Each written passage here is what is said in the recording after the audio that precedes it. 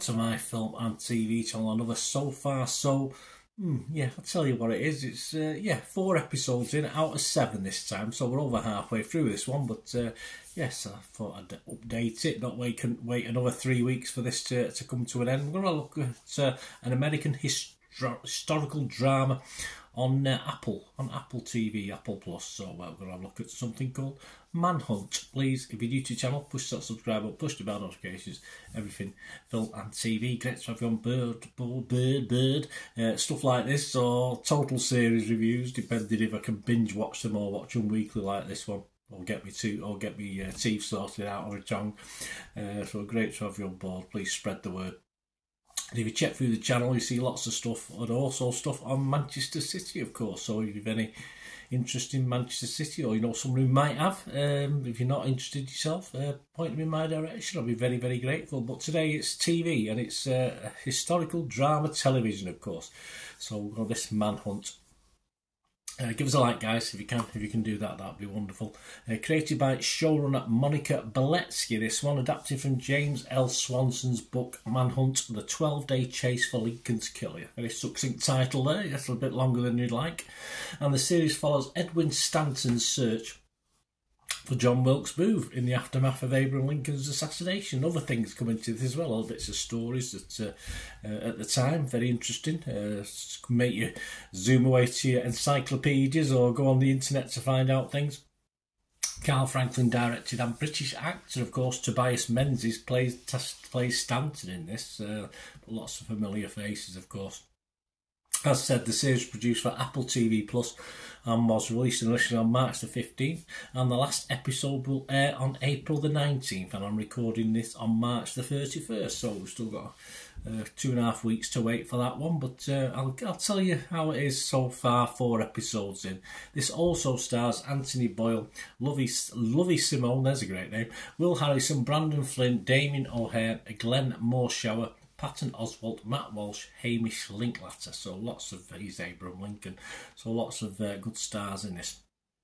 My thoughts. I mean, this is a well put together series, as you'd expect. A uh, bit of money spent on it, good sets. Uh, how realistic they are to the time, I don't know. I'm not a, I like history, but I'm not going to tell you that uh, that stagecoach wasn't around at that time in time period or stuff like that. All those guns weren't around, but I'm sure someone will somewhere. Uh, a good cast, plenty of facial hair going on, as you'd expect. Uh, I remember the film was it I think it was in two parts, wasn't it? Back in the 90s, I think. Gettysburg, part one and two. Uh, some mean moustaches and beards in that one, but uh, yeah, this doesn't do too bad. It's basically a police procedural drama set back in time. Uh, we won't see Vera popping up in a trench coat or raincoat, but the order and flashbacks to the series gives us a easy understanding of what's going on and the hunt for the president's killer. But of course, you get other little bits and pieces as well. There's conspiracies in this, which you'd expect. No grassy knoll though for this one. I also enjoyed it when it deviated from the man and give you a little bit of rest from that and concentrated on some of the political problems of the time, of course. In a series like this, it's as I said, uh, mentioned before, as you're reaching to check certain apparent facts uh, about Wall Street and stuff like this.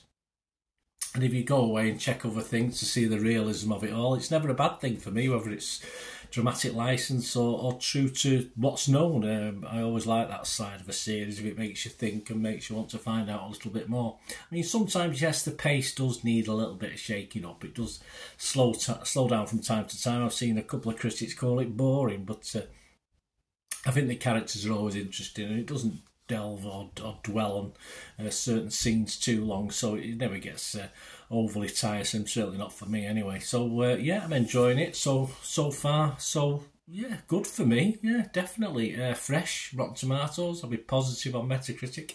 And at this point in time, I was hovering. I was hovering on 6.5, but I'm going to push it to a 7 out of 10. Uh, it may well come down to 6.5 after the seven episodes, but uh, four episodes in, I'm still enjoying it. So I'll give it a 7 out of 10. I'll give it the benefit of the doubt. Other scores, as at the 31st of March, well, Rotten Tomatoes, 86% approval, that's good, based on 29 uh, critics.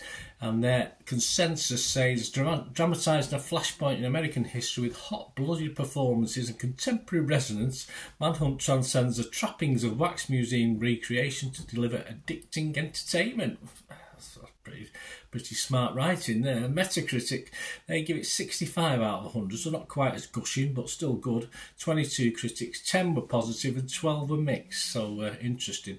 But Ian Freer of Empire magazine, Evie scored it an 80 and said, Well played and strikingly made. Manhunt is part crime, potboiler, part political thriller, part historical overview, and each strand works a treat. Yeah, I don't disagree with Ian.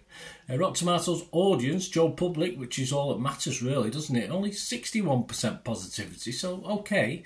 Uh, but then the Metacritic users, not a lot, only about 40 odd of them, 5.7 out of 10, so a little bit disappointing. But then we go over to Internet Movie Database for my final concluding fact over 1,600 scores and reviews as I'm doing this.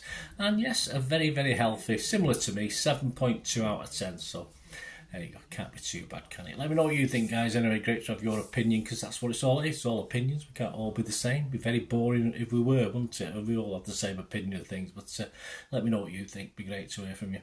So, meet again. And that's one thing, don't I? Please stay safe, everyone. Bye for now.